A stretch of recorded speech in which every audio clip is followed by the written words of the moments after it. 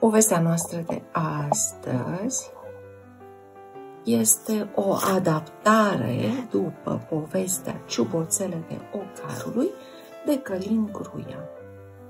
Ogarul și iepurele.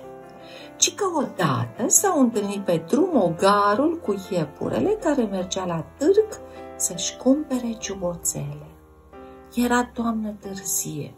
Pe atunci ogarul purta ciuboțele și putea să meargă, pe când iepurele era desculț și vai de el cum îi clănțăneau dinții în gură. Cât ai dat pe încălțări? întrebă sfios iepurele. Doi galbeni, îi răspunse fudul ogarul.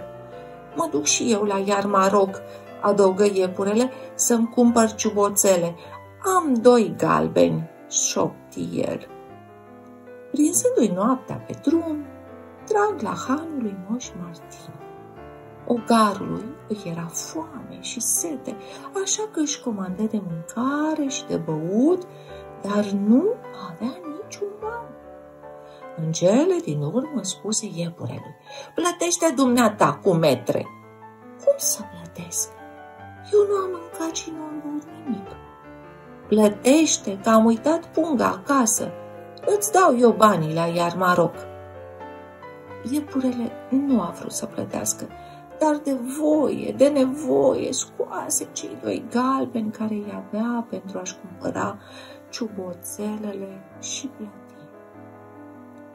Moș Martin se uită la ciuboțelele ogarului, apoi la picioarele goale ale iepurului, moară ceva și luă galbenii.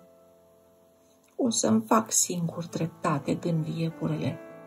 După ce ogarul a dormit, încălță ciuboțelele acestuia și păși încet ieși din han și țină băiete tot într-o fugă.